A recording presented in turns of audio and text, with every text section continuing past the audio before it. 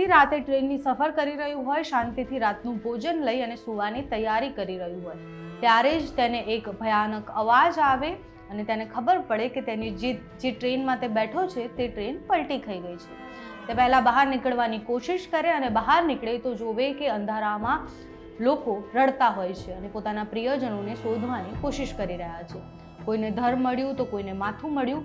લોકો ચીસો પાડી રહ્યા છે અને તેના પ્રિયજનોના ટુકડા ભેગા કરી રહ્યા છે. કેટલી ભયાનક એ ઘટના હશે અને તે રાત હશે. આવું જ કંઈક પોતાની નજરે જોયું છે. એ લોકોએ જે ઓડિશાના બાલાસોર ટ્રેન દુર્ઘટનામાં બચી ગયેલા મુસાફર છે. નમસ્કાર, આપની સાથે હું છું Payal Rathod.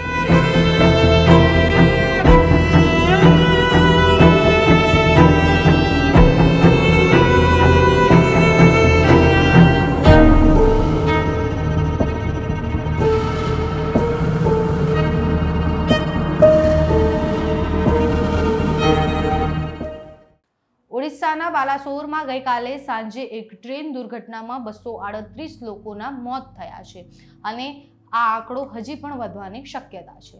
Train number one two eight six four Bangalore Howrah superfast express એક જૂનના દિવસે સાડા સાત વાગે બેંગ્લોરના યશવંતપુરા સ્ટેશનથી રવાના થઈ હતી. બે જૂને રાત્રે લગભગ આઠ વાગે તે હાવડા પહોંચવાની હતી. એના નિર્ધારિત સમય કરતાં સાડા ત્રણ કલાક મોડી ચાલી રહી હતી. સાડા છ વાગે તે ભદ્રક પહોંચી હતી અને આગલું સ્ટેશન બાલાસોર હતું, જ્યારે ટ્રેન ચાર કલાકના વિલંબ સાથે સાત અને બાવને ત્યાં પહોંચવાની હતી.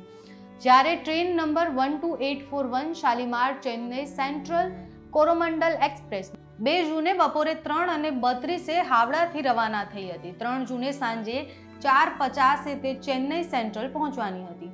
જ્યારે છ સાડત્રીસે તે બાલાસોર પહોંચી આગલું સ્ટેશન ભદ્રક હતું ટ્રેન ચાર અને પચાસ વાગે જ્યાં પહોંચવાની હતી, પરંતુ લગભગ સાત વાગ્યાની આસપાસ જ, પરંતુ લગભગ સાત વાગે જ બંને ટ્રેન બહાનગા બજાર સ્ટેશન પાસે સામસામે આવવાની હતી.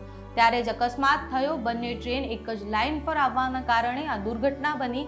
રેલવે ટ્રેક પર સિગ્નલ ફેલ હોવાના કારણે પણ બંને ટ્રેન સામસામે અથડાઈ ગઈ.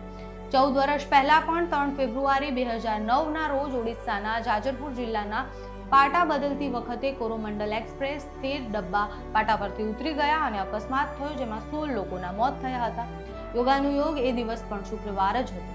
ગઈકાલથી પચાસથી વધુ એમ્બ્યુલન્સ ઘટના સ્થળે તૈનાત છે. ઘાયલ મુસાફરોને બહાનગાની હોસ્પિટલમાં દાખલ કરવામાં આવ્યા છે. આ દુર્ઘટનાના પગલે રેલવે મંત્રી અશ્વિની વૈષ્ણવ પણ ઘટના સ્થળે પહોંચી ગયા અને ત્યાંની સમીક્ષા કરી. પીએમ મોદીએ પણ ટ્વીટના માધ્યમથી શોક વ્યક્ત કર્યો છે. પીએમએ લખ્યું છે કે ઓડિશામાં ટ્રેન દુર્ઘટના વિશે સાંભળીને હું દુઃખી થયો. દુઃખથી આ ઘડીમાં મારા વિચારો અને શોકગ્રસ્ત પરિવાર સાથે ઘાયલો જલ્દી સ્વસ્થ થઈ જાય તેવી કામના છે. રેલવે મંત્રી અશ્વિની વૈષ્ણવ સાથે વાત કરી અને પરિસ્થિતિનો તાગ મેળવવાની કોશિશ કરી રહ્યા છીએ. દુર્ઘટના સ્થળે બચાવ કામગીરી ચાલી રહી છે અને અસરગ્રસ્તોને તમામ શક્ય સહાય પૂરી પાડવાની કોશિશ કરીશું. જ્યારે મમતા બેનર્જીએ કહ્યું છે કે અમે ઓડિશા સરકાર અને રેલવે અધિકારીઓને સહકાર આપવા માટે બચાવ કામગીરીની મદદ કરવા માટે પાંચ છ સભ્યોની ટીમ ઘટના સ્થળે મોકલી રહ્યા છીએ.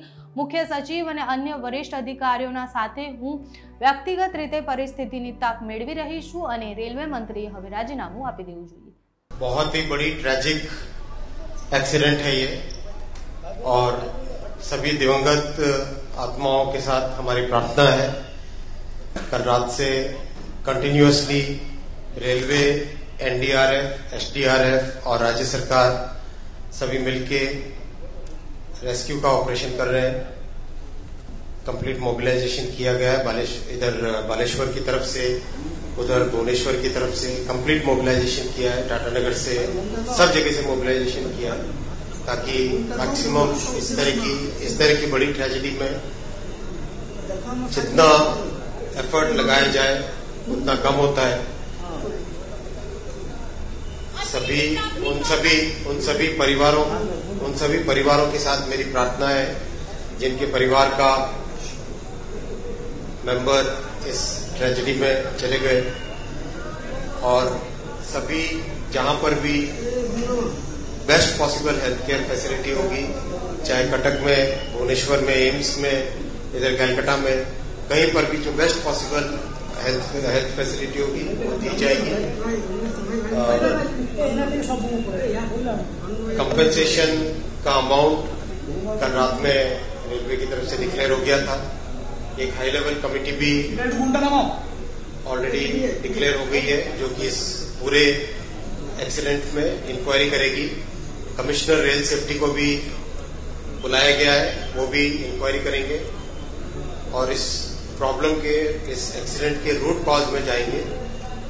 किस किस कारण से ये प्रॉब्लम हुई वो पूरा का पूरा टेक्निकल से और किस भी कारण से हुई हो वो समझा जाएगा। अभी सारा का सारा फोकस रेस्क्यू पे है। और कंप्लीट फोकस है जिस तरह से जिनके भी गहरी चोटें आई हैं, उनको ठीक जगह पे पहुँचा के उनका इलाज कराया जाए और परिजनों के पास ठीक खबर पहुँचे, सारा फोकस उस चीज़ पे। ये जिस तरह की घटना है, ये जिस तरह की दुर्घटना है, उस दुर्घटना में सबसे पहले हमारा फोकस रहना चाहिए मानवीय संवेदना। किस तरह से जिन परिवारों के मेंबर चले गए, पहले उनके पास ठीक तरीके से पहुँचे जो व्यक्ति आज घायल हुए हैं उन घायलों का इलाज हो। सबसे पहले वो फोकस